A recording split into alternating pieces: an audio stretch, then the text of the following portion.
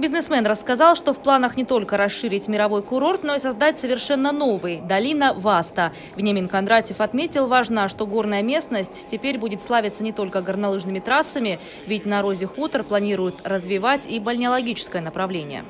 Сегодня Красная Поляна в целом э, она нуждается в развитии, потому что количество туристов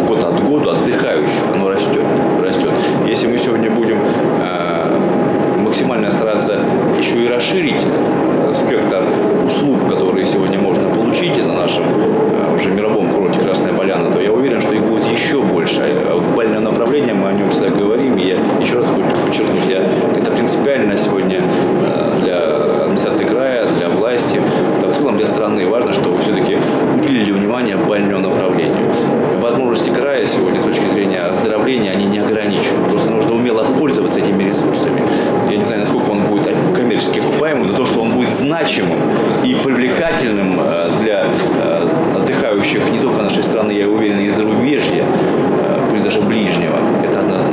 Безусловно, мы считаем, что это будет и интересно для туристов, и коммерчески тоже очень интересно. Почему? Ведь одна из проблем любого курорта – это сезонность. Да? Например, если вы берете море, то замечательно море летом. Да? Если мы берем горнолыжную тему, она замечательна зимой. А когда мы говорим про балнеологию, это работает круглый год, и особенно во внесезоны. Да? И в этом смысле как раз я думаю, что мы не просто будем балнеологию развивать, для нас это еще и будет определенное сбалансирование всей инфраструктуры, которая там находится. На курорте Роза Хутор ежегодно отдыхает порядка двух миллионов человек, поэтому необходимо, чтобы возведение дополнительной инфраструктуры было максимально безопасным и экологичным, отметил губернатор.